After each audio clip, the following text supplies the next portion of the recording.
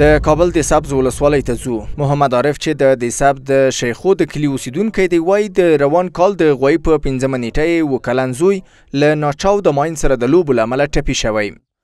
دولت ته خوانه موږ دا یو درخواست ده چې موږ الحمدلله وخت جنگ موږ نشته خو دغه ماینونه دي چې دغه غون ماشومان زموږ دغه کلی سي او غیر علاقه غیر د دغه کې د ماینونه دا شیونه د سیل غرو کې دا بمونه ډیر زیات دي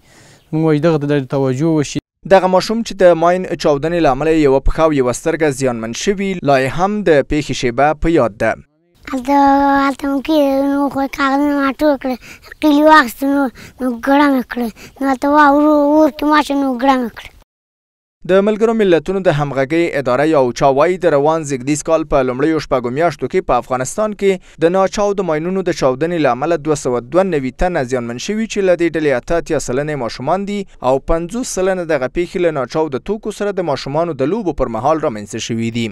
له دې سره هم مهاله د ماین پاکۍ د همغږۍ او انسجام ریاست وايي چې د روان دوه زره څلرویشتم کال له پیله تر اوسه نږدې درې سوه تنه د ناچاوده توکو له امله زیانمن شوي چې له دې ډلې دوه سوه لس تنه ټپیان شوي او لس تنه نور مړه شوي دي. درې سوه په شاوخوا کې دي چې دوه سوه او لس کسه زخمیان او نوي تنه یې شهیدان دي،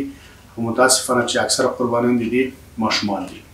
د یاد ریاست د شمېرو له مخې د هېواد په نهه ویشتو ولایتونو کې د ماین پاکۍ دوه سوه دوه اتیا ډلې فعالیت لري.